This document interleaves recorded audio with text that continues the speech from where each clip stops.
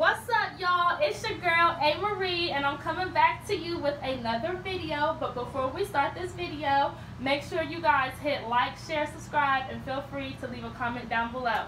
So today's video, we are doing some flaming hot Cheeto chicken. Does this sound crazy? Guess whose request? My son. So, Min Min, this goes out to you. Okay, so what we have, guys, is we have our ingredients. We have chicken. We have hot Cheetos, them flaming hots. We got our Frank's Red Hot Sauce. And I'm going to go through with the seasonings with you guys. We got our Creole seasoning. My girl Ashley Cavett. Hey, Ash. Definitely got me onto this. Replacing seasoned salt because we don't need all that salt. Um, we got our onion powder.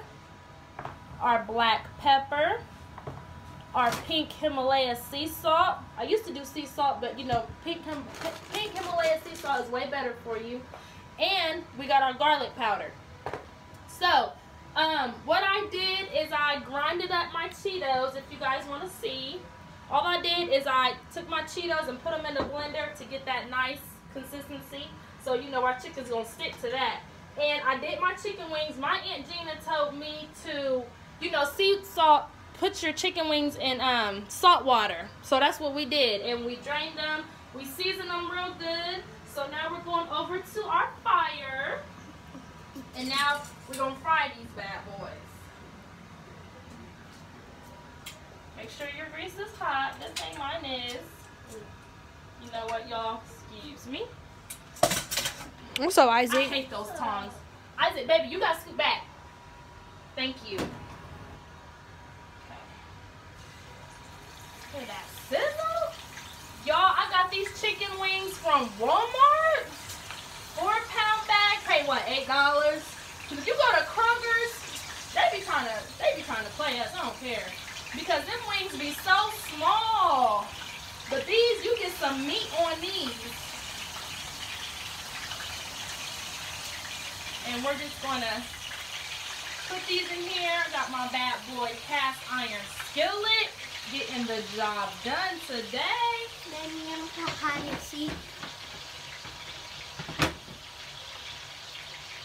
Mom.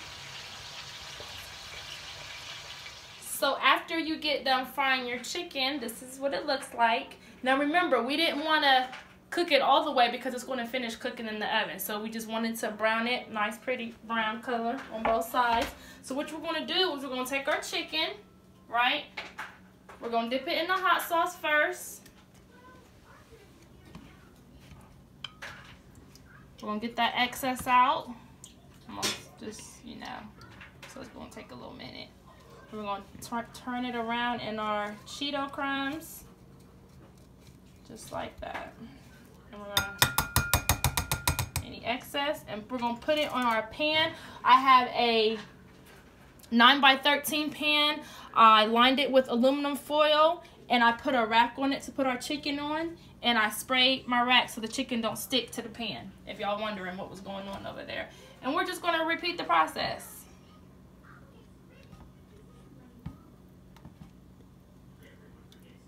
And after you get done doing all of your chicken and the hot sauce and the Cheeto mixture, this is what you guys have?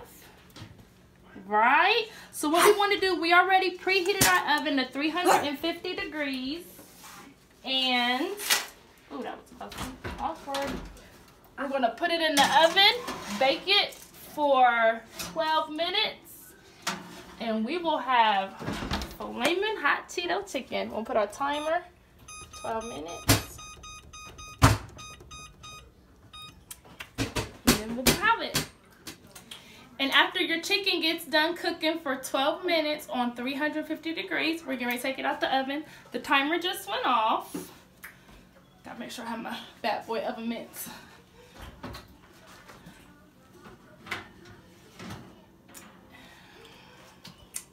And this is what you have. And that, ladies and gentlemen, is what I call hot Cheeto chicken. So, I just wanted to thank you guys for tuning in. Thank you for your time. If you like this video, make sure you give it a, give it a thumbs up. And make sure you subscribe. Again, if you have any comments, feel free to comment down below. And I'll catch you next video. Peace.